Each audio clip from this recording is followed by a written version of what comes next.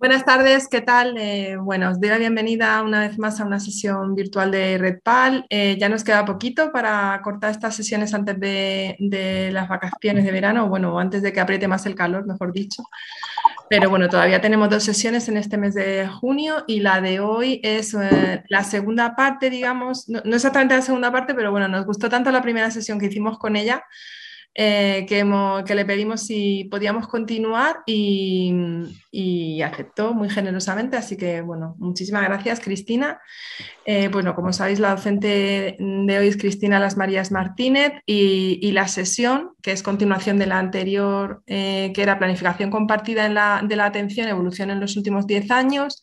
Y hoy vamos a centrarnos en otro aspecto, que es planificación compartida de la atención, resultados de autoeficacia en planificación compartida de la atención de profesionales sanitarios. Bueno, os presento a Cristina, aunque creo que es sobradamente conocida, pero bueno, eh, ella es enfermera, licenciada en Humanidades, máster en Cuidados Paliativos. Es en la actualidad la responsable del programa de planificación de decisiones anticipadas en oncología del Instituto Catalán de Oncología de Barcelona, del ICO de Barcelona, y es la presidenta de la Asociación Española de Planificación Compartida de la Atención, de AEPCA. Eh, así que bueno, pues eh, como sabéis, Cristina es una comunicadora eh, estupenda y una persona muy experta en docencia y formación sobre este tema ah, y en investigación y que para nosotros es un placer y un lujo contar una vez más con, con tu intervención. Cristina, muchísimas gracias por aceptar bueno, gracias María, no, un lujo para mí que, me hayáis pedido que vuelva. sí. Eso siempre es un buen indicador. Yo, las personas que me conocen en la red ya saben que tengo un poco de peligro. Así que mira, tú lo estás experimentando también. Bueno, nada, un placer em, compartir, bueno, un poco esta segunda parte, que sí que es verdad que aunque la temática es algo diferente, em, no sé me gustaría saber cuántas personas estuvieron también en la primera sesión, porque hay algunas cosas que voy a comentar ahora que introduje ya un poco en la primera. Entonces, si veo que hay mucha gente que no vino a la primera, hago un pequeño inciso. Mm, a ver, que levante pues, la mano. Eh, levantad, la, levantad la mano aquí en el Zoom, los que no vinisteis a la primera sesión, y así me salís aquí en el listadito con la mano levantada. Vale, perfecto. Vale, cuatro personas de momento, una carilla por aquí. Ay, la vi en YouTube, qué maravilla, madre mía. Ay, qué bien.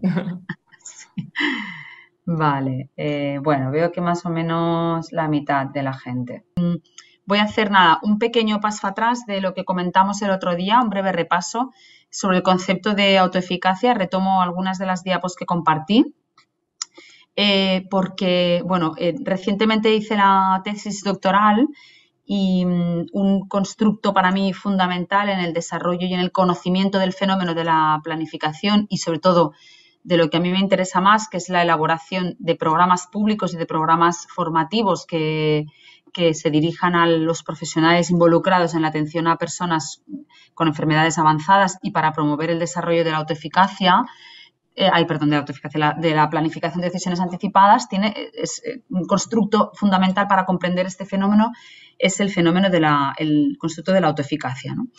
¿Por qué? Pues porque entendemos que en el desarrollo de la planificación, que yo a veces hablaré de planificación de decisiones anticipadas, a veces de planificación compartida, porque PDA, eh, planificación de decisiones anticipadas, es como nosotros lo llamamos en Cataluña cuando desarrollamos todo el modelo catalán, con lo cual estoy como muy, toda mi tesis la he utilizado este concepto, el de PDA.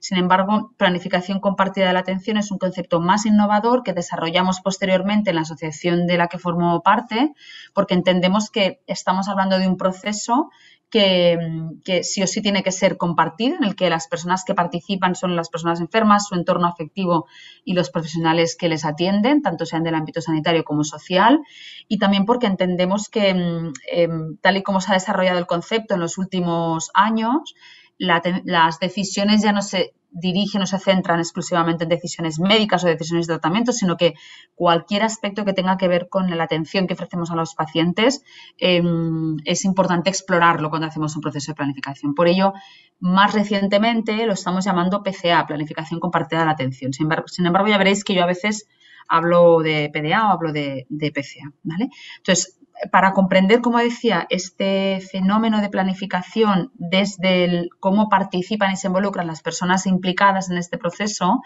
em, hay que tener en cuenta que la base fundamental es que se genera un proceso de comunicación entre, entre todas las personas participantes, pero eh, eh, hay dos conceptos que se han utilizado mucho en el ámbito anglosajón que definen bien eh, la participación o la o, cómo las personas a las que atendemos se involucran en el proceso de planificación. Un concepto es el readiness y otro es el engagement, que el engagement bueno, es una traducción difícil la del engagement. Aquí hemos puesto compromiso, pero es más voluntad con comprometerse o intención con comprometerse, ¿no? Y la predisposición es el readiness a ello. Entonces, hay dos marcos teóricos, el que desarrolla eh, Rebeca Terry Fred, perdón, perdón, que utiliza como base teórica los estadios de cambio, el modelo transteórico en el que se parte de la base de que toda persona que, que necesita o que pretende introducir un hábito nuevo en su, en su vida, ¿no? Sea sobre todo muy dirigido a hábitos saludables, evidentemente, pero también en una práctica, en un proceso de aprendizaje nuevo que implique un cambio, ¿no? Introducir algo, algo novedoso en, nuestro día a día. Toda persona que hace ese proceso puede, puede hallarse en una fase distinta de, contemplación hacia ese cambio, ¿no? De, o, en lo que se llama en el modelo transteórico de un estadio de cambio. La fase más alejada de una voluntad para introducir un hábito nuevo es la precontemplación. O sea, esto no va conmigo y, no sé por qué me hablan de este tema, ¿no? De ahí pasaríamos a una fase de contemplación. Ah, bueno, eh, esto mm, sí, me interesa, pero no estoy preparado preparada para ello. El de preparación, ah, me interesa y además me debo preparar y quiero prepararme. Voy a ver cómo. El de acción, en el que empezamos a generar pasos o se dan ya pasos para o acciones que motivan el cambio. Y luego hay dos fases que depende de quién, define este modelo, es la de mantenimiento y la de finalización. La de mantenimiento quiere decir que yo ya he introducido este hábito en mi vida durante los últimos seis meses, por ejemplo, y, parece que es como, bueno, es bastante fiel, bastante firme mi actitud por mantener este hábito en la vida. Dependiendo del contexto en el que aplicamos este modelo, hay una última fase que es el de finalización, porque a veces hay recaídas en, estos, en estas fases, ¿no? A veces uno empieza a dar pasos hacia adelante para, para introducir este hábito nuevo y sin embargo hay alguna situación que, que me hace dar un paso atrás, ¿no? Y, dejo de hacer acciones concretas. O puede que en un momento contemple que esto es importante para mí y, y decida prepararme para ello, sin embargo por alguna razón aparque este tema para otro momento, ¿no? Con lo cual, bueno, desde, la, desde las teorías que, desde cómo se han aplicado esas teorías a la planificación, este reading, esta predisposición, nos ayuda a comprender qué estrategias podemos utilizar para motivar a las personas a que se involucren en los procesos de planificación compartida. Y luego hay otra teórica que es Rebeca Sudore, que utiliza además otro marco teórico que es la teoría social cognitiva. Introduce también el, el reading, es esta predisposición, pero lo que ella define es que en las diferentes dimensiones que contemplan la planificación hay cuatro elementos, cuatro aspectos que debemos conocer para, para identificar cómo las personas van a llevar a cabo procesos de planificación. Y ellos además han elaborado una escala específica que evalúa las diferentes dimensiones de la planificación desde estos cuatro parámetros. El conocimiento que tiene la persona a la hora de llevar a cabo el proceso, la contemplación que tiene que ver con, bueno, con, qué con qué situación está a la hora de generar acciones concretas, la predisposición, que ya lo hemos comentado, que es una, una adaptación de este modelo transteórico, y luego este constructo que os decía de autoeficacia. ¿no? Por lo tanto, cuando una persona se siente, en función de cómo se siente una persona de eficaz para involucrarse o llevar a cabo un proceso de planificación, em, la estrategia que también tendremos que desarrollar puede ser un poco distinta. Y luego hay otro, si, nos vamos a, la otra pata de, este proceso de planificación, que son los profesionales, también hay aspectos que determinan las dificultades que muestran los profesionales a la hora de llevar a cabo procesos de planificación y también es necesario conocerlo. ¿no? Hay aspectos asociados con lo que los profesionales piensan de las personas enfermas, que no están preparadas, que la situación pronóstica a veces me genera incertidumbre, con lo cual es difícil involucrar a las personas en este proceso. No es el momento o, no tienen capacidad cognitiva para ello. Aspectos socioculturales que también son conocidos. Aspectos relacionados con la organización, la falta de tiempo, que es un clásico. Después os, mostraré algunos datos de un estudio cualitativo que hemos hecho aquí en mi hospital con oncología y hematología. Em, la carga asistencial. Bueno, todo esto es un clásico, pero también hay un aspecto importante em, como, como dificultad clara, identificada en que los profesionales inicien o desarrollen procesos de planificación y es la baja autoeficacia. El cómo el profesional no se siente capaz de llevar a cabo un proceso de planificación es un determinante para que se motive al aprendizaje de estos procesos de planificación. ¿Y qué entendemos por autoeficacia? Pues es, tal y como lo define Bandura en la teoría social cognitiva, es la creencia en las propias capacidades para organizar y ejecutar pues, los cursos de acción requeridos para manejar situaciones futuras. Y, la autoeficacia, lo relevante que tiene este constructo en la psicología, y en la psicología social en concreto, es que es, una, es la, que la creencia de eficacia influye sobre el modo de pensar, de sentir, de motivarse, de actuar de las personas. Si yo me siento capaz de hacer algo, pero encuentro múltiples barreras para llevarlo a cabo, yo me motivaré para solventar estas barreras porque eso es importante, porque además me siento capaz para llevar esto a cabo. Em, sin embargo, si no me siento capaz de llevar algo a cabo, las barreras serán una excusa perfecta para que yo no lleve a cabo un proceso concreto como podría ser iniciar procesos de planificación con los, con los pacientes. Además, Bandura lo que dice es que la, autoeficacia es un equilibrio entre lo que se denominan las expectativas de eficacia, que si lo llevamos al terreno concreto de la planificación, sería que yo me siento capaz de iniciar un proceso de PDA con un paciente o una paciente, y las expectativas de resultados. ¿no? Hacer un proceso de planificación mejora el conocimiento que tengo de los deseos expectativos del paciente o de la paciente. Si yo considero que esta acción concreta, que este proceso concreto eh, me va a dar buenos resultados y tiene un sentido para el paciente, eh, bueno, posiblemente me motivaré a hacer un proceso de planificación, pero si si sobre todo lo que tengo es autoeficacia, me motivaré todavía más. ¿no? En este equilibrio entre las dos expectativas, la de eficacia y la de resultados, la que parece que tiene más peso a la hora de iniciar cambios o de generar cambios tanto de comportamiento, como decíamos, como hábitos mm, saludables, como cualquier otro cambio que yo introduzca en, mi día a día, en este equilibrio parece que tiene más peso el cómo nos sentimos capaces eh, de generar, de llevar a cabo una acción concreta. ¿vale?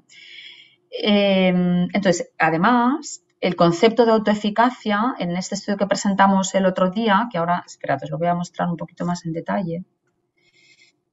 Ay, es que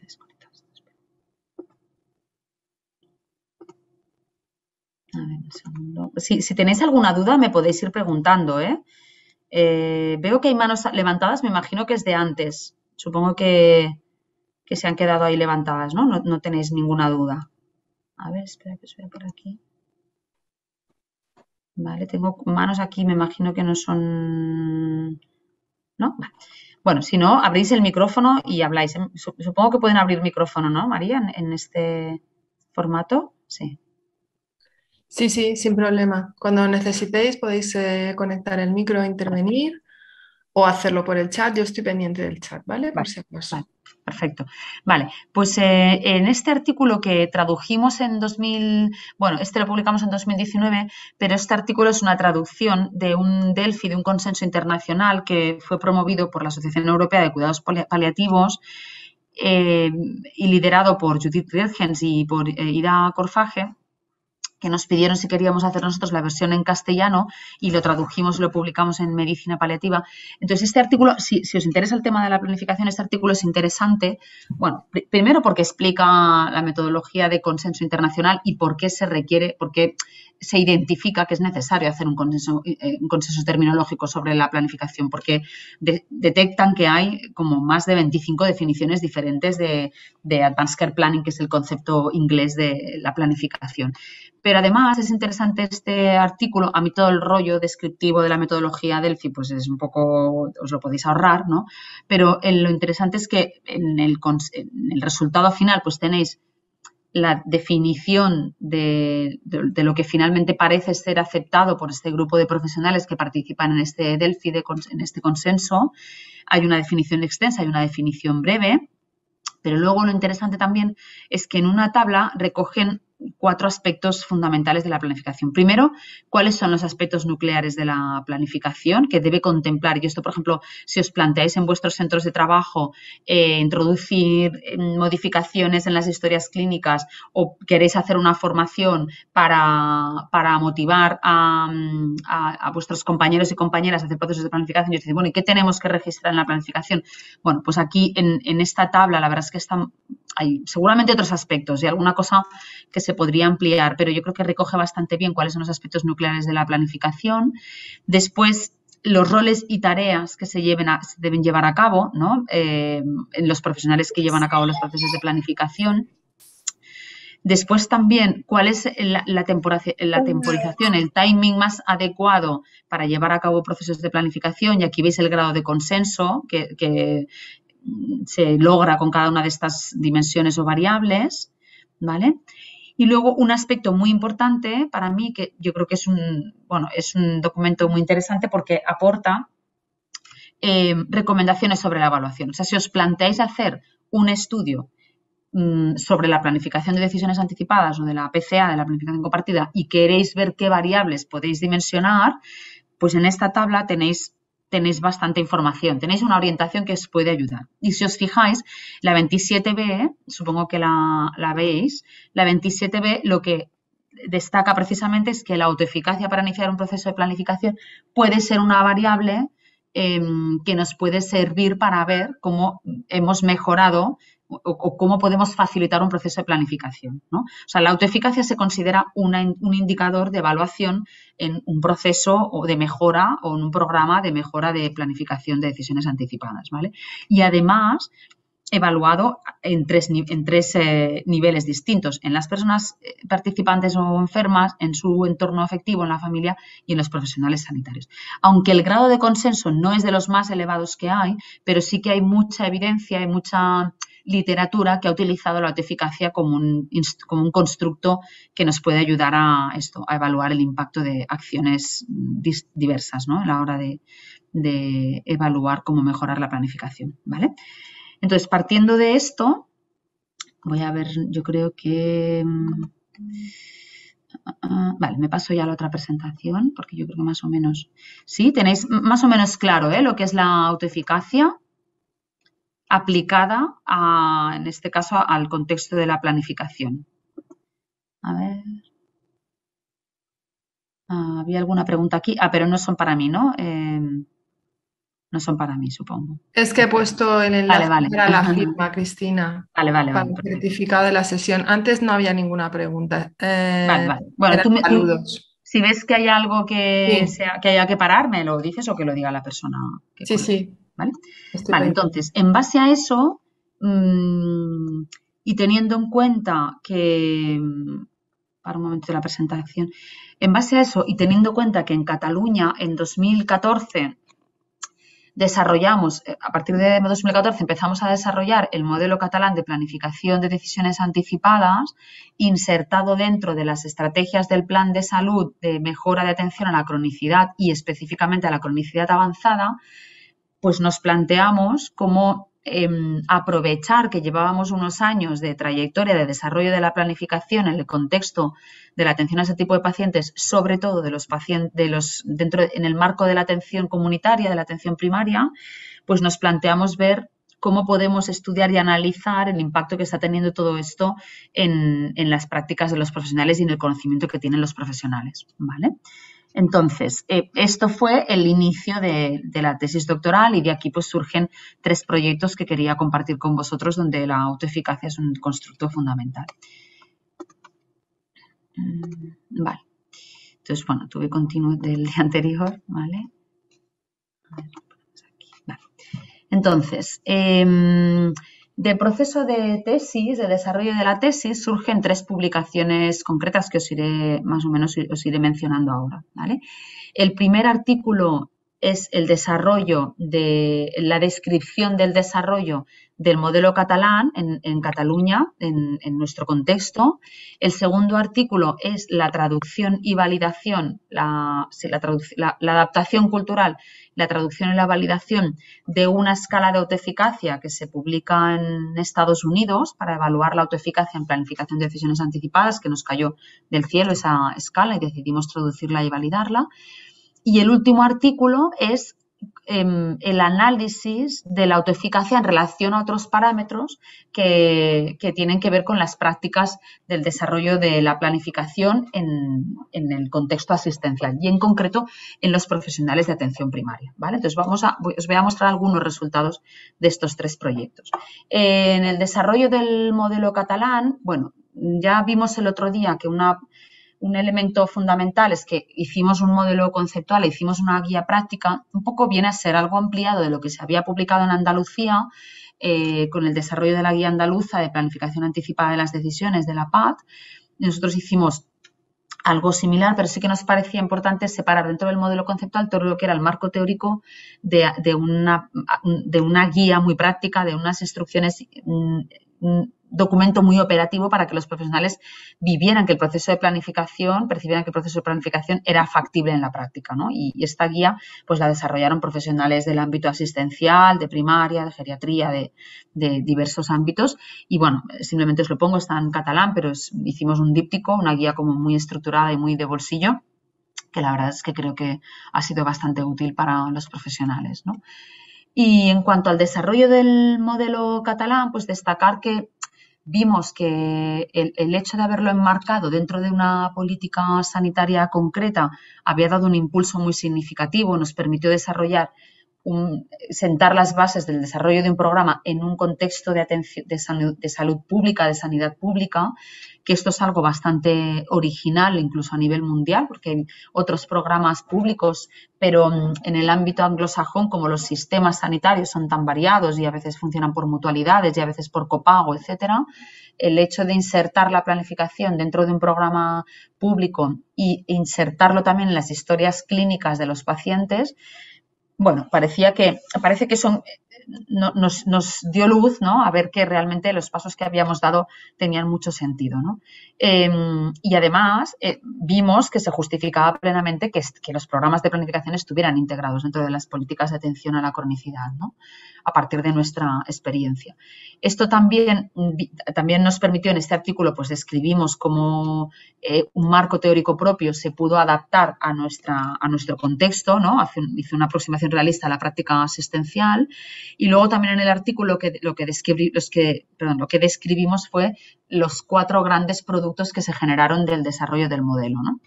Uno fue, eh, como decía, el marco conceptual, en la guía práctica, una formación específica, que desarrollamos un curso online, y luego unas intervenciones que hicimos con ciudadanía y con pacientes enfermos, de los que de momento yo, no me ocupaba tanto de esa parte, finalmente eso se quedó, yo creo que en un cajón y no se ha llegado a publicar, que es una pena.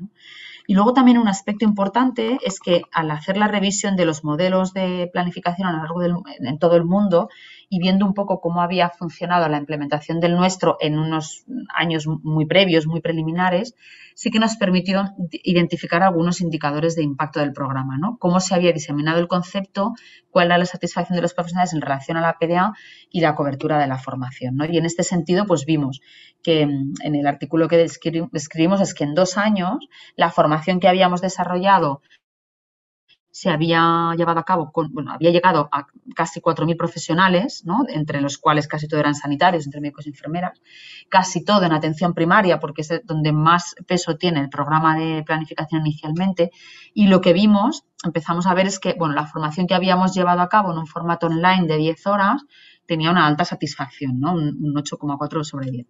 Y ya en este primer artículo, en algunos comentarios que la gente nos hacía de la formación, recogíamos algunos comentarios como, como este, ¿no? que todos los profesionales deberían realizar este curso, ofrece una mirada global de lo que es la PDA y nos ayuda a ser conscientes de su importancia, motivando para su puesta en práctica. ¿no? Este y otros comentarios, em, bueno, nos motivaron también, nos hicieron pensar que, oye, pues a lo mejor teníamos que hacer algo un poco más eh, centrado en, algunos otros indicadores, entre ellos pues, la autoeficacia, y vamos a ver cómo medimos el impacto de, la inserción de este programa a otro nivel, ¿no? con un estudio un poquito más riguroso. Esta, valoración inicial fue, bueno, fue muy ad hoc, no, no, nos planteamos hacer un estudio descriptivo muy complejo, pero sí que, mm, no sé qué impresión tenéis vosotros, pero yo que llevo muchos años trabajando para la administración pública. A veces creo que se desarrollan y se definen pocos indicadores de evaluación de impacto de lo que hacemos, ¿no? Y es una pena porque se invierten muchos esfuerzos y mucho dinero en, acercar la formación a los profesionales, en intentar mejorar cómo trabajamos y, sin embargo, al menos aquí, en Cataluña, mi experiencia que venía del mundo asistencial a la que me pongo a trabajar con la administración pública, veo que los programas y los proyectos que se desarrollan se evalúan poco y se dimensionan poco, ¿no? Y, bueno, a mí esto me inquieta y pues vamos a ver si, aparte de este corte que hemos hecho de una valoración inicial, le damos un poco más de rigor a, todo este tema, ¿no? Pero sí que es importante que tengamos en cuenta que hay un programa en una comunidad autónoma que se ha desarrollado, que se ha evaluado y que se ha, que se ha distendido y se ha esparcido por toda la comunidad a todos los niveles asistenciales. ¿no? Entonces, para poder hacer esta evaluación con más rigor, como decimos, decidimos, pues esto, eh, buscar alguna herramienta que, estuviera validada, porque la mayoría de artículos que se publican y que utilizan la autoeficacia como variable de medida la, se construyen escalas mm, ad hoc, o sea, no son escalas validadas y para nosotros sí que era importante, sobre todo también teniendo en cuenta que esto estaba en el, se estaba desarrollando en el marco de una tesis, vamos a validar una, escala específica de autoeficacia. No os voy a mm, comer mucho la olla con las propiedades psicométricas porque es un poco rollo, pero sí que en esta fase inicial de traducción y contratraducción que sepáis que la escala que generamos es una escala de 19 ítems, es una escala de 19 ítems que los ítems puntuaban de 1 al 5, desde nada eficaz a totalmente eficaz, eh, bueno, de nada capaz a, perdón, nada capaz a totalmente capaz de llevar a cabo esta variable concreta o este ítem concreto, que esta evaluación del 1 al 5 es fiel a la original, pero que nosotros después cuando explotamos los datos hicimos un rescalado a 100, con lo cual veréis algunos datos de, medida de la escala que, puntúan valores más altos y son como, eh, bueno, para que no os extrañe y nos sorprenda. ¿no? Y lo que también hicimos de la escala original es añadir dos ítems que nos parecían interesantes. Uno es, por ejemplo, me siento capaz de registrar el proceso de planificación en la historia clínica. Para nosotros en Cataluña eso tenía sentido porque tenemos un espacio específico en la historia de los pacientes crónicos complejos y, crónicos avanzados donde el profesional de atención primaria puede registrar un proceso de planificación, con lo cual em, el ver si las personas se sentían capaces de hacerlo o no, los profesionales, pues también nos parecía interesante. Bueno, las propiedades psicométricas de la escala fueron adecuadas, no os los voy a mencionar ahora pero sí quería compartir que para, para la, muestra que participó en este estudio se compuso de profesionales que principalmente estaban atendiendo a pacientes con, que, podían ser tributarios de hacer procesos de planificación. ¿Por qué? Pues porque dentro de la estrategia del modelo catalán se centró la, se priorizó hacer procesos de planificación con pacientes con enfermedad crónica compleja, con eh, pacientes con enfermedad crónica avanzada, con lo cual decidimos que las cuatro sociedades científicas que, más claramente atendían a ese tipo de pacientes eran las de atención primaria, eh, las de geriatría y las de cuidados paliativos. Evidentemente hay, más, ¿no? Hay muchas más sociedades científicas, pero inicialmente creímos que los que estaban más sensibilizados con este tema, bueno, cuyo modelo de atención de alguna manera incorpora ya la planificación como un aspecto muy relevante, eran estas cuatro sociedades. Con lo cual, bueno, la, muestra global de las cuatro sociedades, de los socios y socias de estas cuatro sociedades, pues son unas 5.000 y pico personas, con la cual la tasa de respuesta con una N de 538 participantes fue de un 10%, es una tasa de respuesta baja, pero dado que el objetivo principal de este estudio era la validación de la escala, con lo cual lo que te interesa son las propiedades psicométricas, con esta N, eh, no sé si alguien entiende de psicometría, pero con, normalmente para hacer un estudio exploratorio y evaluar las propiedades psicométricas de una escala necesitas 10 10 eh, personas participantes por cada ítem de la escala. Como es una escala de 19 ítems, con 190 eh, participantes habríamos tenido bastante. Pero como además Em, cuando yo hice este proyecto, hice algo relacionado con propiedades psicométricas porque mi directora de tesis era experta en psicometría y, la verdad es que le agradezco mucho el énfasis que puso en que tuviéramos una escala validada y que, evaluáramos propiedades psicométricas porque Realmente es la única escala validada en castellano que evalúa eh, el proceso de planificación de decisiones anticipadas, la autoeficacia, perdón, en el proceso de PDA. Pero para mí, imaginaros, yo soy enfermera, eh, docente, eh, empiezo a hacer mis pinitos en el mundo de la investigación, analizar las propiedades psicométricas de algo me parecía, vamos, mortalmente aburrido. Entonces yo siempre me iba, mi sesgo siempre me iba a ver, bueno, ¿y qué pasa con la gente que ha respondido a esta escala a otro nivel, ¿no? O sea, yo quiero mirar otras cosas, lo que yo identifico como profesional asistencial, ¿no? Pero bueno, ambas cosas yo creo que es importante y la verdad es que le agradezco mucho que me motivaran y me forzaran casi casi a evaluar propiedades psicométricas porque ahora tenemos una escala que creo que es eh, realmente útil. ¿no? Pero bueno, para mí la fase 2 de este, de este cuestionario era la más importante. ¿Por qué? Pues porque además de preguntar sobre las, además de evaluar las propiedades psicométricas, lo que nos interesaba era ver bueno, pues qué perfil profesional respondía a esta escala y, cómo y qué valores de autoeficacia mostraban los profesionales que respondían a esta escala. ¿no?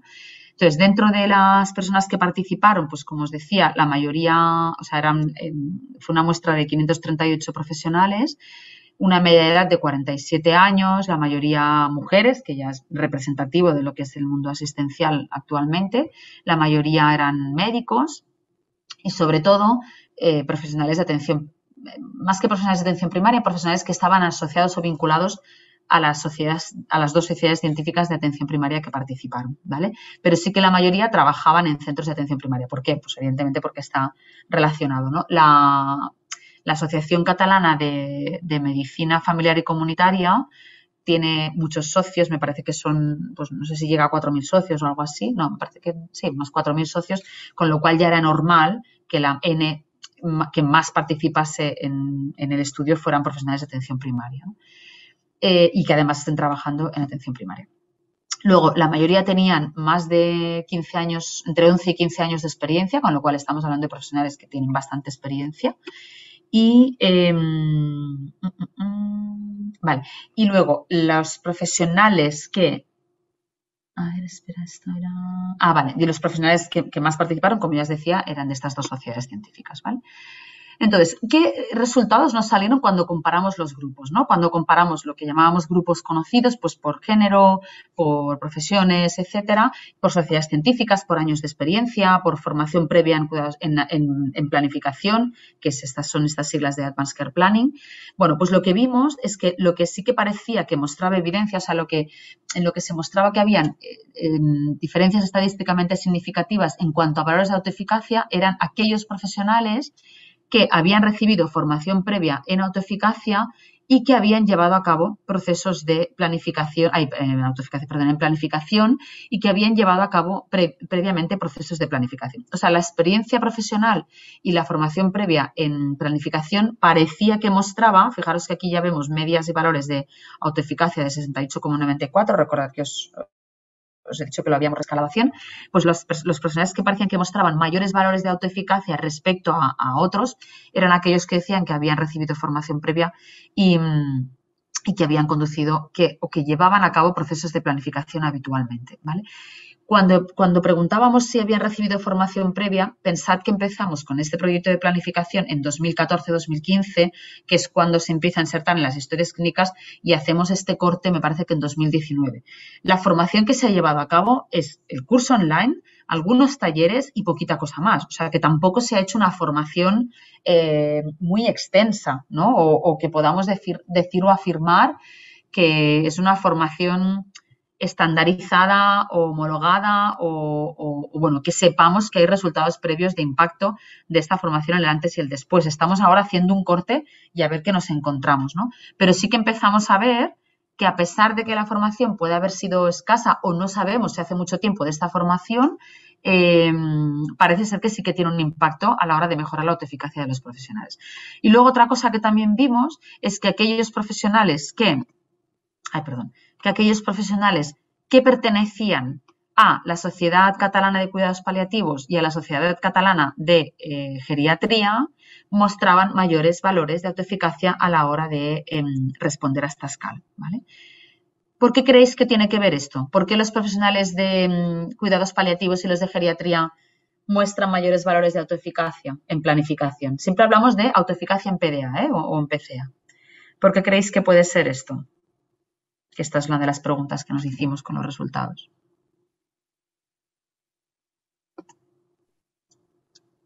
A ver, esto es un test para ver si estáis despiertos y despiertas. ¿eh? Podéis abrir micro. Os respondéis en el chat o... Ay, mira, me están respondiendo a mí, se enfrentan más a ello a diario. Exactamente. Es Tal cual. respuesta. Exactamente. O sea, esto tiene coherencia con los dos, con los dos eh, mm, puntos anteriores. ¿no? O sea, el hecho de haber llevado, conducido procesos de planificación a diario, bueno, a diario. De, entrada la pregunta no, en este, en este caso concreto no, no especifica, sí que lo preguntábamos, ¿eh? pero aquí en la gráfica, en la tabla no lo hemos puesto, no, no estamos especificando cuántos procesos de planificación se llevan a cabo en un mes o en una semana o lo que sea, ¿no? Esto sí que lo preguntamos, pero aquí no lo mostramos pero sí que el hecho de haber conducido o, dirigido o, llevado a cabo procesos de planificación previo, que es lo que hacen habitualmente los profesionales de cuidados paliativos y, los profesionales de geriatría posiblemente, ¿no? Exactamente, como dice Dani Ramos, por el modelo de atención habitual centrado en el paciente, pues ya mostró claramente que los valores, y además con, bueno, bastante significativamente, eh, parecía que, bueno, que se mostraba más autoeficacia, ¿vale?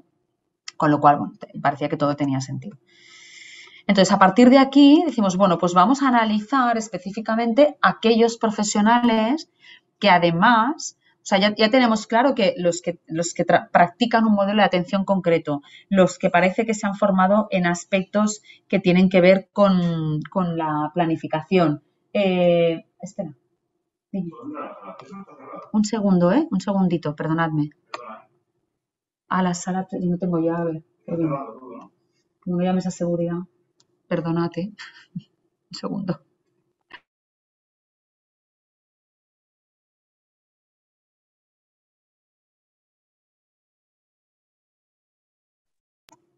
Perdón, no hay, nadie en el hospital a estas horas, pero por eso me preguntan, disculpadme. Bueno, pues en este tercer estudio lo que dijimos es, bueno, vamos a ver cómo eh, se asocia, o sea, teniendo en cuenta que llevamos unos años insertando la planificación dentro de las historias, que además les estábamos pidiendo a los profesionales de, atención primaria que reflejaran, las que reflejaran las historias del proceso de planificación, eran indicadores que se evaluaban a final de año, pero no sabemos ni cómo perciben el proceso de planificación, ni qué piensan en relación a la importancia que tiene el proceso. O sea, nos interesaba mucho analizar las percepciones que tenían los profesionales de atención primaria en relación a este, al proceso de PDA y cómo esto se asociaba a la autoeficacia. ¿no? Con lo cual nos planteamos este tercer estudio, que fue un estudio descriptivo, con eh, intentando explorar la formación, la experiencia previa en planificación, las percepciones y las creencias de autoeficacia. ¿no? La muestra, el perfil de muestra muy parecido también en cuanto a edad, género y años de experiencia profesional. Aquí la N es un poquito más pequeña. Y mm, vemos que en cuanto a experiencia y formación previa en planificación, aquí ya vamos un poquito más al detalle. La mayoría, esta primera pregunta que pregunta si han escuchado hablar de la planificación, pues fijaros que el 97% de las personas dicen que sí, que han oído hablar, con lo cual dijimos, menos mal, llevamos cuatro años trabajando en este tema. Parece ser que el, concepto, ¿os acordáis que habíamos visto cómo se evaluaba o se, percibía la, satisfacción con la formación y cómo el concepto de planificación parecía que se estaba ya integrando dentro del, discurso, del, del discurso de los profesionales, ¿no? Pues eh, aquí evidenciamos que sí, que la mayoría habían oído hablar de este tema que el 70% decían que habían hecho una formación específica en planificación. Sin embargo, aquí vamos un poquito más al detalle. Vemos que el 30% han hecho más de 8 horas de formación, con lo cual la formación, el resto han hecho menos de 8 horas. O sea, de aquellos que dicen que han hecho una formación concreta, em, solamente el 30% dicen haber hecho una formación de más de 8 horas. Fijaros que el curso online era de 10 horas con lo cual yo creo que la gente no sabe, no sabe, mm, seguro que se hacen una encuesta de cursos que habéis hecho en los últimos dos años y no, sabríais decir cuántas horas tenían las formaciones online, porque esto es un concepto que siempre se nos escapa. Entonces, mucha de la gente que dijo que había hecho una formación entre cuatro o ocho horas, pues a lo mejor era este curso online, pero lo habían hecho más rápido, con lo cual no percibían que era de más de, 10 horas. Sin embargo, pues eso, solo el 30% dicen que han hecho una formación de más de 8 horas y no había otra formación reglada en planificación en Cataluña en ese momento pero eh, de, estos que respondieron a esta formación, fijaros que cuando les preguntamos si se consideraban suficientemente formados para llevar a cabo un proceso de planificación, en una escala del 1 al 10, eh, la media que respondieron fue de 5,54. En una escala del 1 al 10, los profesionales se sienten con un 5,54 puntos de formados a la hora de llevar a cabo de procesos de planificación. ¿Estos os consideráis que es un valor alto, bajo? Eh, ¿Qué os hace pensar? Una media de 5,54 en una escala de 1 al 10 en percepción de formación a la hora de llevar a cabo un proceso de planificación. Esto fue una discusión que tuve con mi directora de tesis, bastante profunda e interesante. ¿Qué, diríais si hacéis una encuesta, preguntáis sobre estos temas y os dicen que se sienten un 5,54 sobre 10 de formados? No sé si hay comentarios.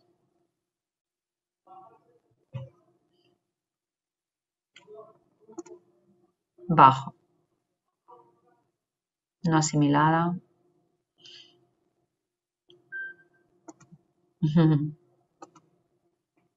Bueno, es un valor, es un dato, mm, como que no hemos utilizado una escala eh, con, con, una variable cualitativa, sino que hemos usado una escala cuantitativa, pues bueno, tenemos que ver que está en la media, ¿no? Pero mm, no sabemos, no sabemos si realmente es un valor bajo, alto o no, porque no tenemos un punto de partida previo.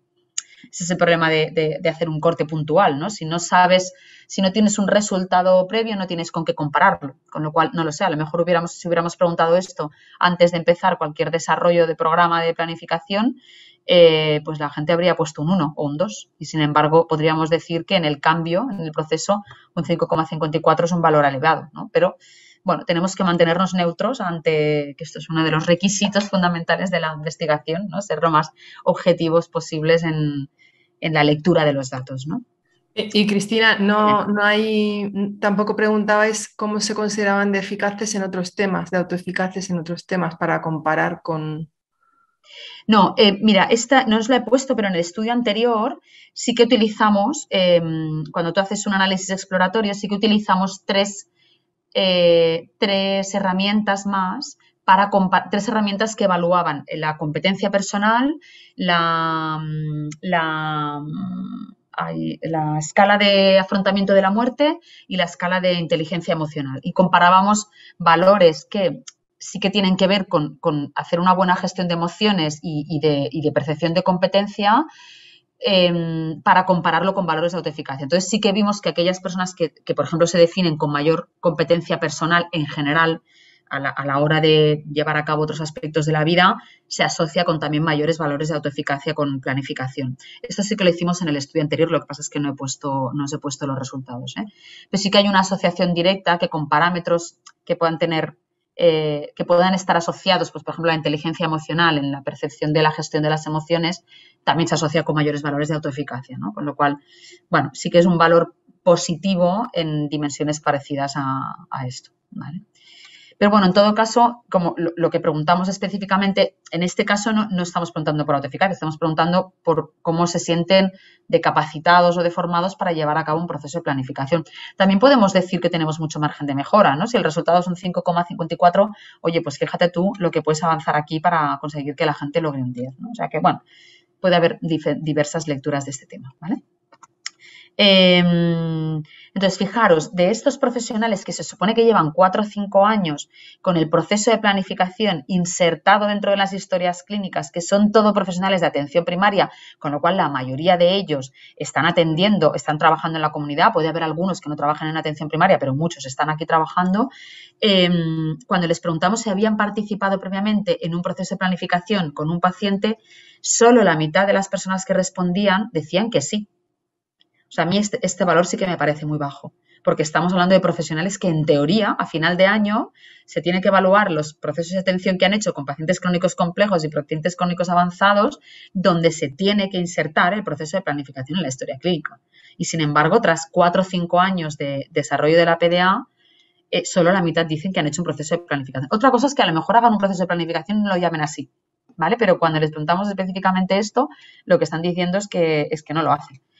Y de aquellos que los hacen, les preguntamos el número de procesos de planificación por mes y fijaros, o sea, al cabo de un mes, y fijaros que solo hubo tres, o sea, el 1,22 decía que de 11 a 20 procesos al mes, a mí esto me parece un poquito exagerado, no sé, no sé si es un sesgo en esta respuesta, pero lo destacable es que el 63%, bueno, de los que sí que hacen procesos de dicen que han hecho procesos de planificación, hacen entre 1 y 5 procesos de planificación al mes. Y el 33%, que queda aquí un poquito oculto, de aquellos que dicen que sí que han hecho un proceso de planificación, el 33% dicen que no han hecho ninguno en el último mes.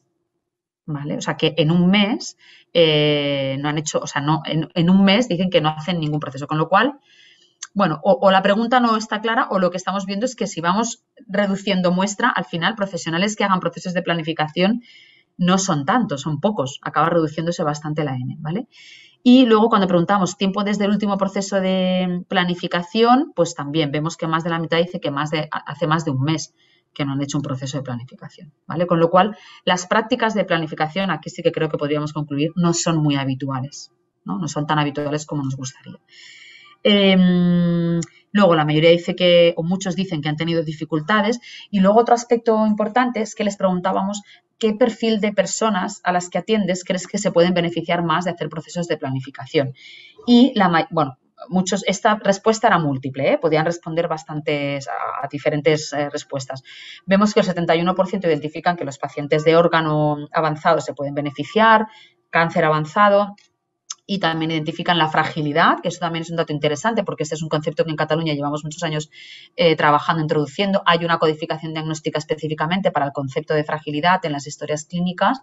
Entonces sí que vemos que identifican la fragilidad como una patología tributaria hacer procesos de planificación. Sin embargo, no sé si lo veis porque igual está muy chiquito, solo el 40% identifican las personas con demencia avanzada como tributarias de hacer un proceso de planificación. Claro, si partimos de la base de que precisamente aquellas personas con un trastorno cognitivo severo o aquellas personas que tienen un alto riesgo de desarrollar trastornos cognitivos, como pueden ser aquellas que tengan una enfermedad neurológica, eh, una demencia, deberían beneficiarse de hacer procesos de planificación. Creo que aquí, bueno, eh, el sesgo a lo mejor es que preguntábamos por demencia avanzada, que a lo mejor los profesionales entendían que una persona con una demencia avanzada, si ya no se puede comunicar, ya no puede hacer un proceso de planificación, con lo cual a lo mejor ya no lo ven tan, tan indicado, pero en todo caso con las familias sí que puedes hacer un proceso de planificación con una persona con demencia avanzada, ¿vale? Con lo cual, bueno, mm, eso también sería, podríamos debatirlo y podríamos cuestionarlo, ¿vale? Luego, cuando eh, también elaboramos ciertas preguntas, creo que eran 12 preguntas, para dimensionar la percepción que tenían los profesionales sobre planificación. ¿no? Y estas preguntas les, pedíamos que las, evaluaran del 1 al 10. En una escala del 1 al 10, ¿cuán de importante es para ti o cómo consideras tú que la planificación, pues os pongo el ejemplo de las dos que puntuaron más, ¿no? de las que puntuaron más. Em, ¿cómo, crees tú que la planificación facilita la expresión de deseos y preferencias de los pacientes y, que, para que éstas se tengan en cuenta en el caso de que no se puedan expresar? Pues esta es la que eh, puntúan como más elevada. ¿no? En, una en la percepción que tienen sobre la importancia que tiene la planificación, vemos que el hecho de que facilita la expresión de deseos y preferencias está muy bien puntuado. También que facilita para los profesionales conocer los, los valores y las preferencias de los pacientes, también lo puntúan muy bien. ¿no? Y también consideran que es muy importante para las personas con enfermedad crónica compleja. Y las que están peor puntuadas, fijaros que eso también ha sido interesante para nosotros, es que el proceso de planificación, entiendo que tal y como está estructurado hoy en día, eh, ¿cómo consideras de, del 1 al 10 cómo, puntuar, cómo puntuarías la factibilidad del proceso de planificación en la práctica? Es una de las que puntúan menos. Y luego también que les preguntábamos si la planificación era importante para las personas sanas y evidentemente la mayoría pues lo puntuaban muy poco porque no, si entendemos la planificación como un proceso que se inicia con personas con algún tipo de patología, pues no, no, no nos dirigiríamos tanto a, las personas sanas. ¿no? Sin embargo, si preguntamos la importancia que puede tener hacer documentos de voluntades anticipadas con personas sanas, pues evidentemente el enfoque de la pregunta sería otra. ¿vale? Pero a lo que a nosotras nos llamó la atención eh, y a pesar de esto, mi directora de tesis decía, no, no, pero un 7,11 es notable, es notable, con lo cual no es que esté mal puntuada, pero sí que vemos que ven como poco factible o menos factible el proceso de planificación en la práctica, ¿vale? Y luego, para destacar, eh, cuando hicimos el análisis de autoeficacia, cogimos la escala de autoeficacia y la medimos, la evaluamos por profesión para ver si entre médicos y enfermeras se podía, médicas y enfermeros, se podía identificar más o menos eh, autoeficacia en función de, la profesión, vimos que el valor global de la escala no mostraba eh, diferencias estadísticamente significativas, pero cuando analizamos los ítems, los 19 ítems, sí que vimos que había bueno, hay tendencia a que en general desde los profesionales de medicina se consideran más autoeficacias en casi todos los parámetros los ítems que compone la escala de autoeficacia en PDA y mm, el único en el que mm, enfermería se mostraba más autoeficaz que los médicos es en registrar correctamente las decisiones del plan acordado en cuanto al proceso de planificación, ¿vale?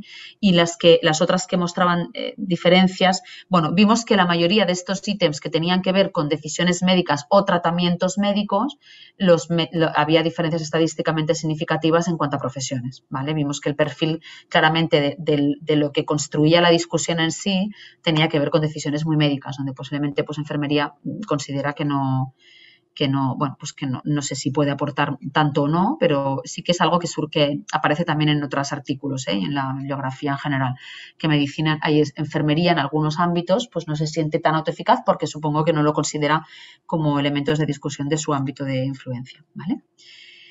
Luego, lo que nos interesaba también en función a todos estos datos es ver si había algunas de estas variables que se correlacionaban con mayores valores de autoeficacia, ¿vale? Entonces, para ir ya un poco al grano, cuando hicimos un análisis multivariado y, analizamos en concreto qué variables mostraban una predisposición a que los profesionales tuvieran más autoeficacia, las, cuatro que destacaban, que mostraban evidencias, eh, diferencias estadísticamente significativas y que además el hecho de presentar las cuatro variables suponía un 68% más de probabilidades de que el profesional se sintiera autoeficaz eh, por encima de 75 en un, corte de 1 a 100, ¿no? O sea, que mostraba valores más altos de autoeficacia, es el hecho de haber participado previamente en procesos de PDA, considerarse suficientemente bien formado por encima de 8, ¿no? En aquella escala del 1 al 10, aquellos profesionales que se sienten muy formados eh, también muestran valores muy altos de eficacia.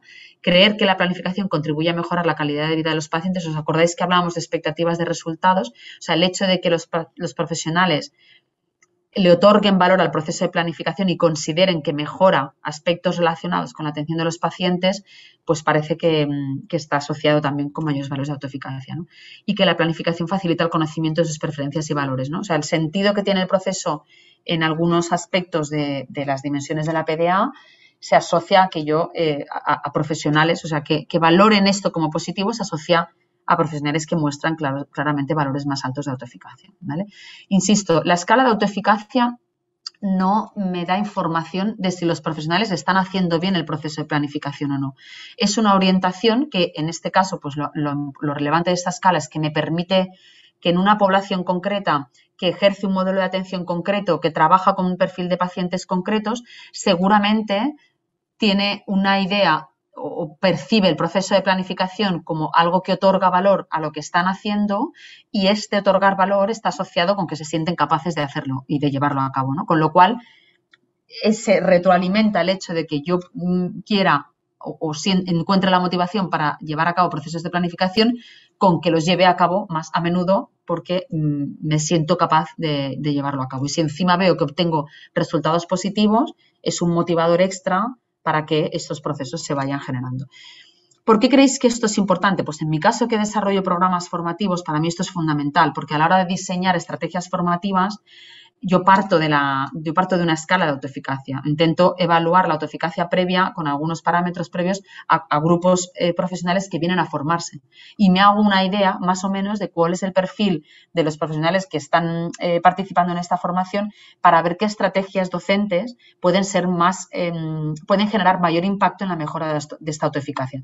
Si no trabajamos casos clínicos cuando queremos trabajar el proceso de planificación con profesionales que se sienten poco eficaces a la hora de llevar a cabo este proceso, eh, si solo nos quedamos en el marco teórico, sensibilizaremos, motivaremos y capacitaremos menos a estos profesionales. Sin embargo, cuando yo estoy trabajando con profesionales que están llevando a cabo en la práctica el proceso de planificación y además muestran valores de autoeficacia en una escala previa que yo les paso, mi estrategia formativa tiene que tener otro, otro enfoque y tiene que estar dirigido a, otros objetivos eh, docentes distintos. ¿vale?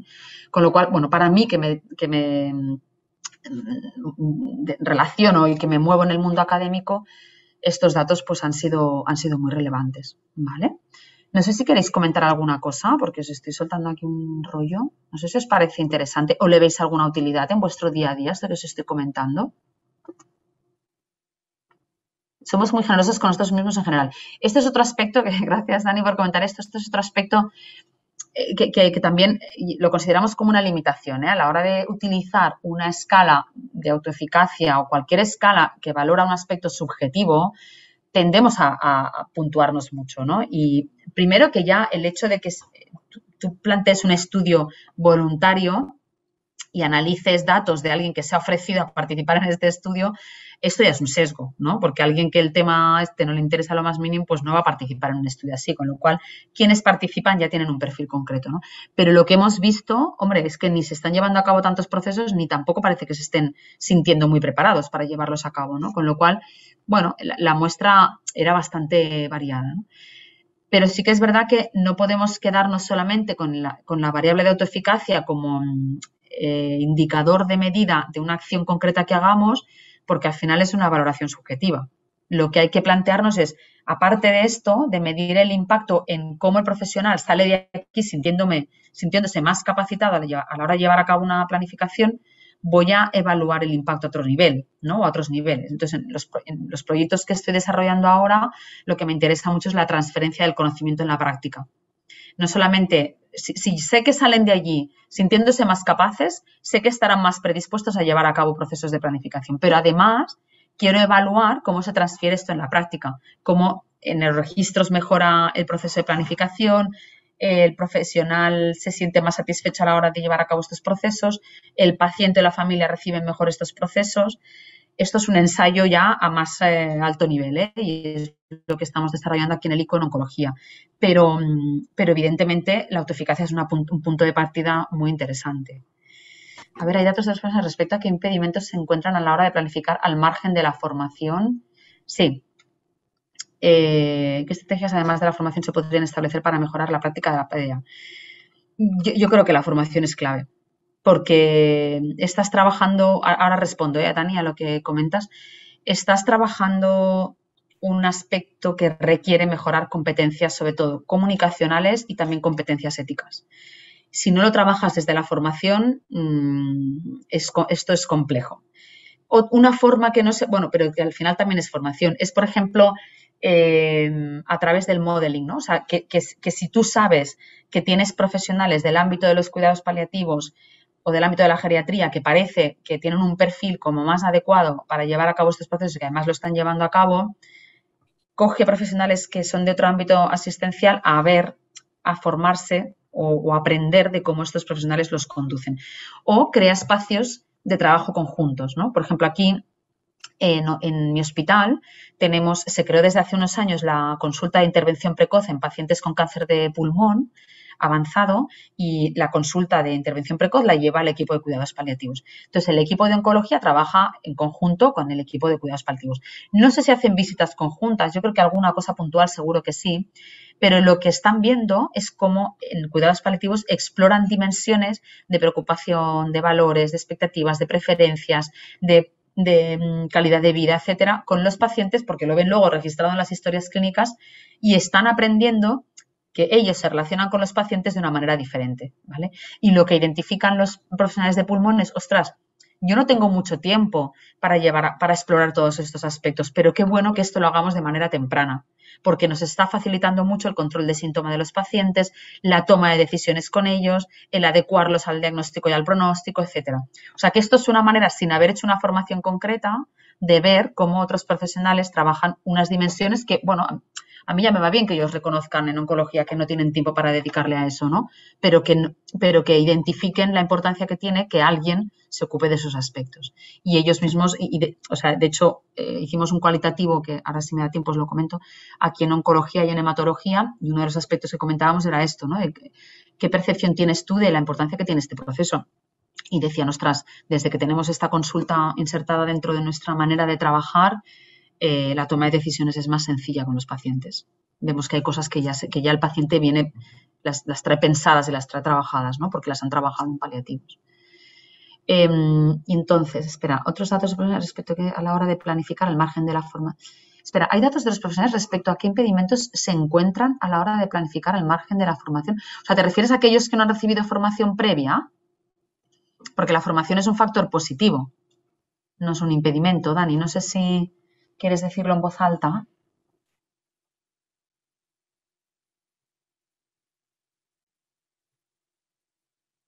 ¿Será que otras barreras se encuentran aparte de la falta de formación? Ay, perdón. Sí, ¿qué otras, qué otras barreras eh, se puede identificar al margen de la formación? Pues tipo, que sabemos cómo es la carga asistencial en atención primaria, eh, mm. la inestabilidad laboral, porque a veces todo en el marco teórico funciona, ¿no? Pero luego mm. la realidad en todas las comunidades está siendo muy compleja, ¿no? Y bueno, pues a veces es muy complicado el... Me sorprende, por ejemplo, los datos que has dado de, eh, no sé qué número has dado, de tantas planificaciones al mes, ¿no? Porque es, eh, es, mucha la carga asistencial ahora que se está teniendo atención primaria. Claro, pero piensa que esta muestra que, que os he mostrado son solamente profesionales de atención primaria eh, bueno, profesionales de atención primaria, profesionales asociados a las dos sociedades científicas de atención primaria, ¿vale? Y la, N de los que dicen que hacen, mm, pues me parece que eran entre, entre 5 y 10 procesos de planificación al mes o algo así, era muy pequeñita. O sea, realmente que se hagan tantos procesos de planificación al mes no, no hay tantos profesionales. Pero es que aquí en Cataluña, a final de año, o sea, cuando en los pacientes que os decía, los PCCs y los enfermos crónicos avanzados, en, la historia clínica que se genera cuando se identifican a estos pacientes hay un espacio específico que, pone que se hace, que se tiene que registrar la planificación. Y estos eh, documentos, estos planes de intervención individualizados y compartidos que se llaman, que se generan cuando tú codificas al paciente, se auditan al final de año. Entonces tú tienes que tener un porcentaje de tus pacientes, de tu cupo, que, están codificados como paciente crónico complejo, como paciente crónico avanzado, en los que hayas hecho un proceso de planificación. Entonces, a lo mejor a final de año, si hubiéramos hecho esta encuesta a finales de año, eh, los profesionales habrían hecho más procesos de planificación, porque como se cierra el año en diciembre, las historias tienen que estar cerradas, los PICs se revisan a final de año para que cuadren los números, pues a lo mejor aprovechan para hacer procesos de planificación o para registrarlo, ¿vale? Pero esto es, la perversión de los indicadores eh, económicos o de gestión que se asocian a, modelos de atención. ¿no? Y esto es un debate que se suscitó en los comités de bioética cuando se hablaba de todo este tema y de cómo, cómo vincular el registro de la planificación a los, a los planes de intervención de estos pacientes. Dijeron, ojo, no, no lo vinculéis a un indicador económico porque se pervierte la importancia que tiene este proceso. Eh, si yo solamente voy a registrar la PDA en diciembre, pero esta paciente, un paciente ha tenido una complicación en septiembre y nadie ha reflejado ahí la planificación que se ha hecho, no tiene ningún sentido. O sea, el sentido de que tengamos un espacio para compartir la planificación es que mejore la continuidad asistencial, que se hagan procesos de toma de decisiones compartidas, etcétera. No que a final de año me paguen o no, porque tengo un indicador cumplido, ¿no? Entonces, eh, esto es complicado, esto es difícil. Carmen, que has levantado la mano.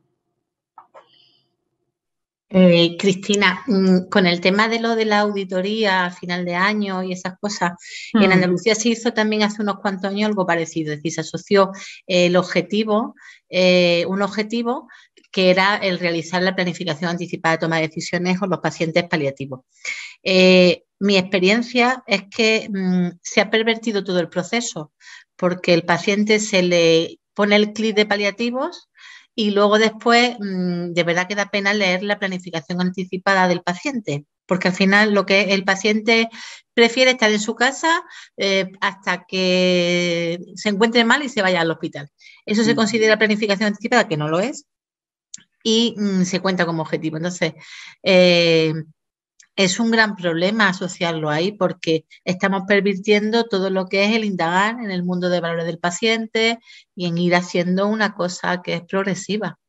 Claro, yo es, es total, o sea, totalmente de acuerdo, que es lo que también nos ha pasado aquí. ¿eh? De hecho, después de todo esto, yo había, bueno, yo simultáneamente a esto, diseñé un ensayo clínico aleatorizado para llevar a cabo en 10 equipos de atención primaria, bueno, con una metodología que se llama cluster, ¿no? Entonces, dividimos, o sea, la intervención era hacer en cinco equipos de atención primaria una formación online y en cinco equipos de atención primaria online y presencial, porque considero que hay ciertas habilidades, ciertas competencias que se adquieren en la práctica, ¿no? Y de hecho, todo lo que estamos recogiendo, estos datos nos apuntan a eso, a que hay algunos aspectos que si no los trabajas eh, con casos clínicos, con role-playing, con lo que tú quieras, bueno, esto creo que mejora las competencias. Yo quería demostrar, como mi línea es la docencia, quería demostrar qué formación tiene más impacto en la mejora de autoeficacia y en la transferencia en la práctica. Entonces, teníamos que analizar historias clínicas de los pacientes que estaban bajo la responsabilidad de estos, profesionales, de los 10 equipos de atención primaria, analizamos como 300 y pico historias. Y en el análisis de los registros, bueno, aquello era un desastre. O sea, las PDAs que estaban reflejadas servían para poco servían para poco. Pero bueno, yo como intento ser muy positiva, em, lo, que lo que quería ver es si después de la formación esos registros mejoraban, porque al final hemos puesto estos indicadores, pero no hemos enseñado a los profesionales a hacer procesos de planificación. Con lo cual, pues, jolín, mm, en lugar de pensar que están mal hechos los registros, lo que yo quiero pensar es, coño, por lo menos intentan hacer registros, ¿no? Lo que hay que trabajar en la formación es el sentido que tienen estos registros y cómo lo que plasmamos ahí realmente refleja lo que estamos recogiendo en un proceso de planificación. Porque yo no creo que no se hagan procesos de planificación, seguro que se hacen. Lo que pasa es que no se acaba de ver cómo esto es relevante para transferirlo a la historia clínica y, cómo esta información puede tener sentido para profesionales que no conocen el caso del paciente y en un momento dado a lo mejor tienen que tomar decisiones. Entonces, la pena es que después de este año y medio de trabajo desarrollando el protocolo, el ensayo clínico, hicimos todo el trabajo de campo, la formación en todos los equipos, em, mi última recogida de datos la tenía que hacer en abril de 2020 ya sabemos todos cómo estábamos en abril de 2020, que claro, los equipos de primaria no estaban para responderme encuestitas a mí, ¿no? Y, entonces los únicos datos que tenemos es de justo inmediatamente después de la formación, donde sí que vimos que la autoeficacia había mejorado. Pero a mí lo que me interesaba muchísimo es, ostras, voy a ver dentro de seis meses, después de haber acabado la formación, si los registros de planificación han cambiado o no, porque, porque, porque este es el sentido que, tiene de, la formación que podamos hacer, la transferencia, o sea, que yo me modifique mis competencias en la práctica. Entonces ahora, bueno, se frustró aquello, pero es lo que, está, lo que estamos intentando desarrollar ahora en mi hospital con una población más chiquitita. También fui un poquito ambiciosa porque hacerlo en 10 equipos de atención primaria fue una locura, ya os imagináis. En 2019 me volví un poco loca, pero ahora estoy intentando, lo quiero hacer, quiero hacer lo mismo en un equipo de, más chiquitito de, oncología que atiende pacientes con glioblastoma, primero porque es un paciente claramente tributario por el alto riesgo que tiene de perder la capacidad cognitiva y, porque tiene mal pronóstico a corto plazo. Entonces, en una población de la que tendemos aquí en un año, el grupo de, de aquí tenemos equipos funcionales que se llaman unidades funcionales, que es un equipo multidisciplinar y que atiende al caso desde el inicio del diagnóstico hasta el final de vida. ¿no? Y mm, entonces la intervención que queremos hacer es la misma, una intervención formativa para ver cómo se transfiere el conocimiento a la práctica.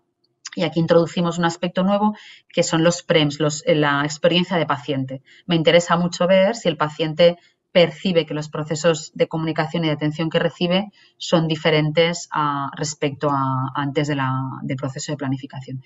Pero yo creo, creo eh, que todo pasa por la formación, creo. O sea, es difícil, estoy un poco sesgada, eh, lo confieso, pero es difícil incorporar cambios de hábitos y conductas distintos si, no te formas.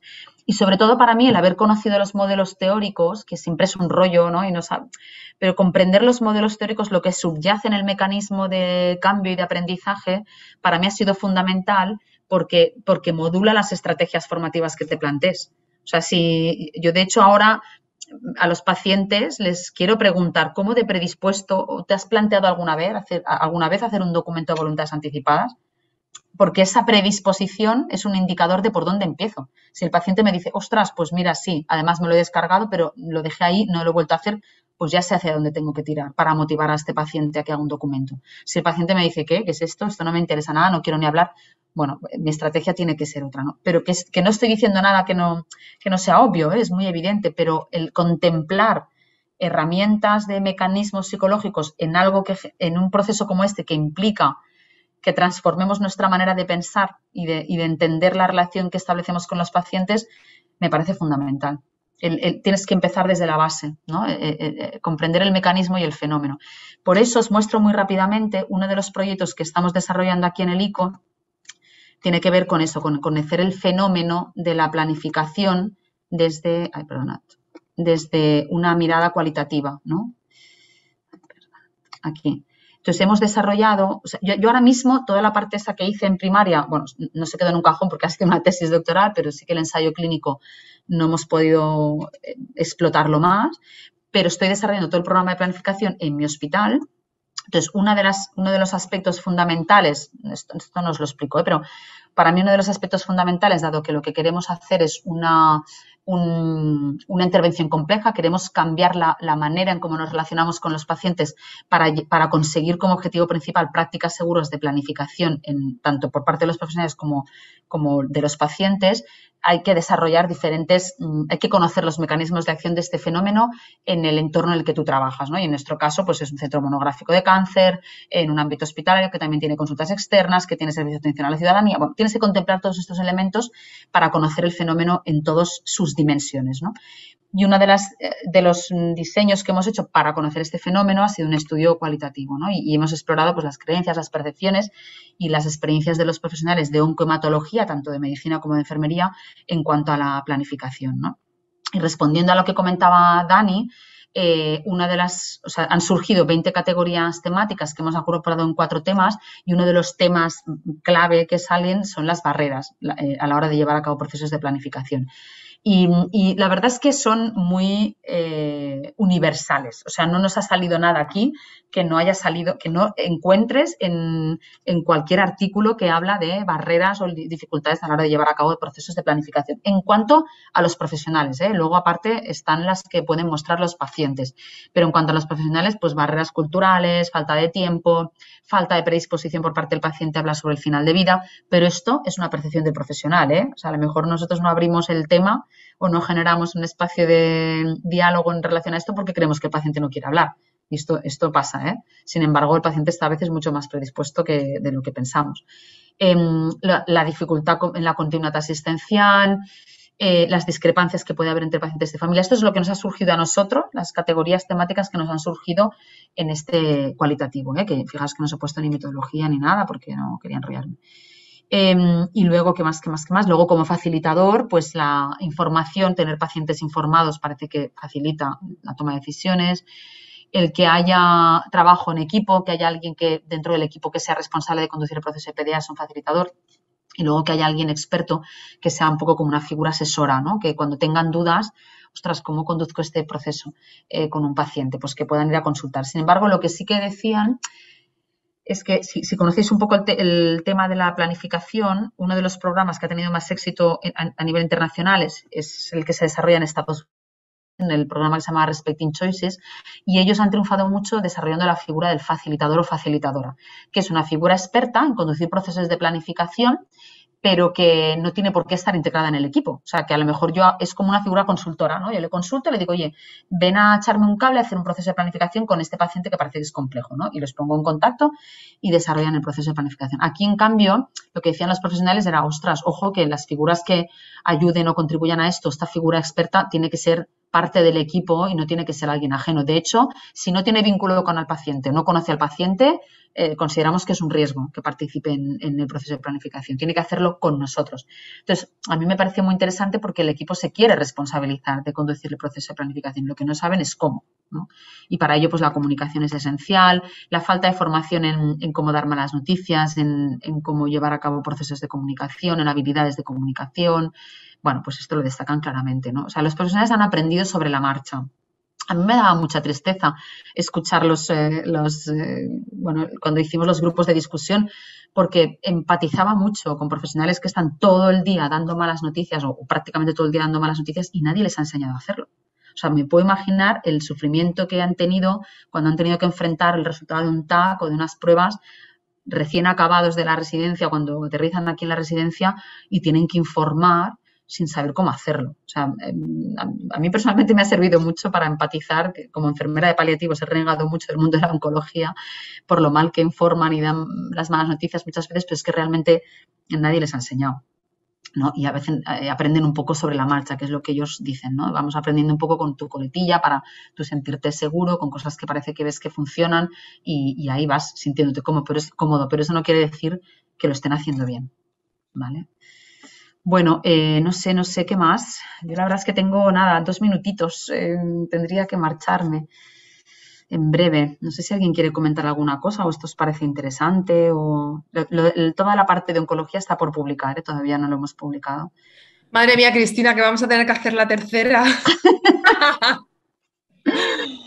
Hombre, a, mí si me tiráis, si me tiráis, yo, me pongo a hablar. me parece súper interesante. Yo, solo una cosa que te tienes que ir rápida. Cuando algunas personas, ¿no? Para, enfocar estas sesiones, eh, intentamos planificar sesiones sobre temas que nos han pedido los profesionales. Y entonces, alguna gente cuando me, pidió trabajar sobre la planificación anticipada, sobre los procesos de planificación, lo que me decían es que les costaba, eh, bueno, pues abordar, el sentarse con, la persona y cómo plantear los temas y qué preguntas hacer y un poco cómo ir eh, desarrollando la conversación.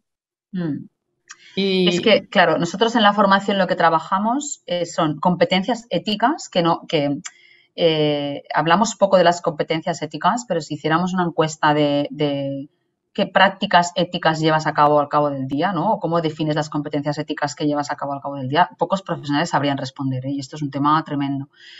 Eh, trabajamos mucho la deliberación, ¿no? Exacto, como dice Carmen, ¿no? Fundamental las competencias éticas. Trabajamos aspectos de deliberación, trabajamos aspectos de herramientas de comunicación, habilidades de comunicación, porque es, fundamental, y sobre todo situaciones concretas. O sea, ponte a trabajar situaciones concretas. Y lo que hacemos también es medir antes, o sea, eh, en los role-playings, pues evaluar competencias antes y después, ¿no? Definir muy bien las competencias que tienen que ver con el proceso de planificación. El otro día hablamos del ciclo de la planificación, ¿no? De cómo eh, hemos estructurado la planificación en diferentes diferentes fases, esto es un primer paso. Si tú tienes una estructura concreta de cómo llevar a cabo el proceso eh, para no olvidarte de ninguna fase, esto es, una guía muy práctica, que de hecho yo creo que también en la guía andaluza se hablaba de las fases de la planificación. La guía andaluza es fantástica ¿eh? y también define muy bien cómo llevar a cabo este proceso. Y luego dentro de lo que se explora, aspectos concretos sobre, bueno, vamos a empezar por, identificar qué información y comunicación tiene el paciente, explorar, explorar, explorar, o sea, saber de qué punto partimos, vamos a ver qué cosas son más importantes para él en toda esta vivencia y de ahí, cuando ya hayamos reformulado la información que tenga el paciente y reformulado las creencias erróneas que pueda tener en relación al proceso, pues eh, construimos decisiones concretas, porque si no, si no partes de esa fase inicial, que a lo mejor no se da en un encuentro, sino que se da en tres o cuatro encuentros, si no es muy difícil poder tomar decisiones concretas autónomas, basadas en la información y en el conocimiento real de, la situación y del contexto. Pero eso es, ponerlo en práctica y la verdad es que yo utilizo mucho la escala de autoeficacia en la formación que hago y casi siempre los valores de autoeficacia mejoran. ¿eh? Eh, entonces, bueno, es un punto de partida importante. Muy bien. Dani, mira, me dice Cristina, gracias por compartir la información con tanto entusiasmo. sí, Se nota que aparte de que sabes que el tema te, apasiona, ¿no? Me lo paso bien, sí, sí, la verdad es que sí. Dani, cuéntanos, a ver. Eh, oye, muchas gracias por, interesante. Y eh, antes de, comentaros una cosilla, os invito a que hagáis otra, otra reunión porque es fantástico. Nosotros aquí en Castilla y León tenemos muy poquito avanzado este tema y bueno, son unas semillas brutales. Y yo quería hacer una reflexión eh, que me, ha servido mucho, ¿no? Y yo creo que como estamos todos manejando las mismas situaciones, como sistema de salud en cualquier sitio donde estemos, yo creo que es clave si queremos eh, disminuir el sufrimiento de los pacientes a lo largo de la enfermedad, es planificar de forma precoz como sistema sanitario, ¿no? Va a mejorar la autonomía del enfermo, la dignidad, el sentido, la sensación de control, evitar ah. deseos de muerte anticipada, fijaros. Y eso, como ha dicho Cristina, que me ha encantado, es a base de formación, formación y formación.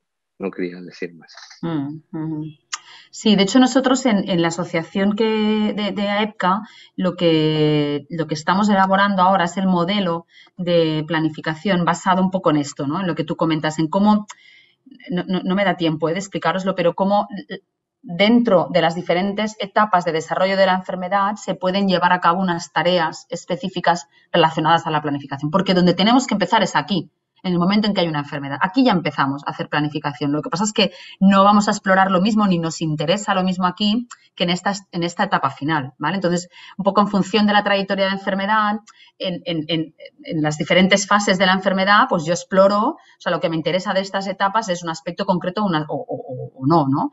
Em, entonces, yo creo que es importante, esto lo tenemos que acabar de escribir como asociación, pero estamos en ello, pero lo importante es esto, que, que, mm, que, no dejemos para el último momento aspectos de planificación pensando en que solo las decisiones finales son importantes, sino ni tampoco preguntemos desde el principio dónde quiere fallecer la persona, porque cuando acabo de diagnosticarme de algo y estoy en una fase precoz de una enfermedad, no voy a estar pensando en eso, no tiene mucho sentido, pero sí que hay aspectos que pueden permitirme conocer a la persona que tengo delante desde el inicio de la enfermedad que ya me ayudarán a tomar decisiones más concretas ¿no? cuando, cuando llegue el momento.